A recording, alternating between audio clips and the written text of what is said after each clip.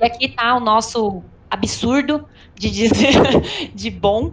Então, primeiro, o que, que a gente tem de custo fixo hoje? Nada. Você vai ativar o Mercado Shops, ele não tem absolutamente nenhum custo é, para ativar, ele não tem nenhum custo de mensalidade e nem de anuidade, beleza?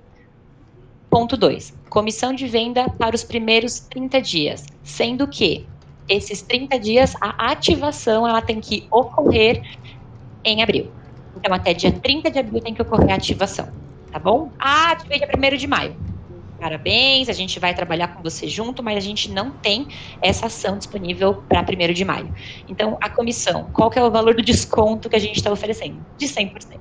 Então, o anúncio clássico, ele sai de 11 para 0 e o anúncio premium sai de 16 para 0.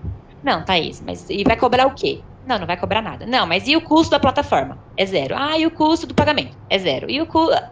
Não vai cobrar, tá? Realmente não vai cobrar. Então, é uma ação muito agressiva para vocês. Eu acho que vale muito a pena. É o momento de vocês ativarem, é o momento de vocês focarem na loja de vocês. Quem já tem, vamos fazer uma migração. Quem não tem, vamos ativar. Porque, assim, não pagar nada por um mês vendendo online é, é um presente. e depois, essa ação ela vai até o dia 31 de julho, com uma segunda etapa. Então, essa é a primeira etapa da ação, essa é a segunda etapa. Então, a partir do 31 dia, e aí até dia 31 de julho, então vai depender que dia vocês ativaram, para esse 31 dia como começar a contar. Vocês vão ter um desconto na comissão do anúncio clássico de 73%, então ele vai de 11% para 3%, e no anúncio premium de 50%. Então ele vai de 16% para 8%. A única condição dessa ação que a gente está fazendo é que a ativação seja em abril. Acho que uma boa ação, né, Ale? Sim, sim, free, né? é, tu, é tudo free.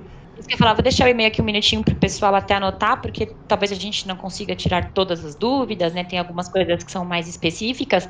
Aí pode mandar para esse e-mail, assessoria.mercadoshops.com.br e a gente depois tira todas as dúvidas de vocês.